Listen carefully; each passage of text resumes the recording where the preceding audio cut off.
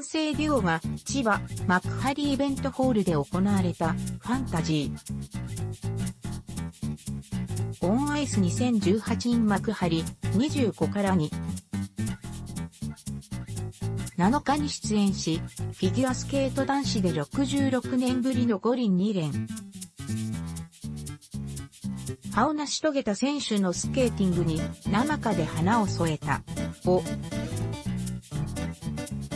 リンピックや世界選手権で活躍する一流スケーターたちが一堂に会し、華やかな演技が繰り広げられる豪華なアイスショーはアーテ。イスとの生演奏とスケーターのコラボレーションが見どころ。今回、ケミストリーは、羽生選手自らの選曲により、2005年に初、表された代表曲の一つ、ウィングズ・オブ・ワーズを歌唱し、た、圧巻のハーモニーに乗せ、羽生選手が華麗なスケーティングを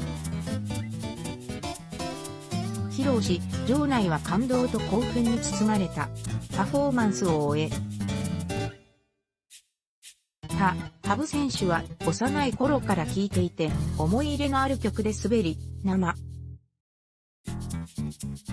ということで、ケミストリーに気持ちよく歌っていただけ。なので、僕自身も気持ちよく滑れましたとにっこり。は、ハブ線。手のスケートを見ていると、歌も伸びやかになって気持ちよかった。すごくいい経験ができましたと感激しきりだった。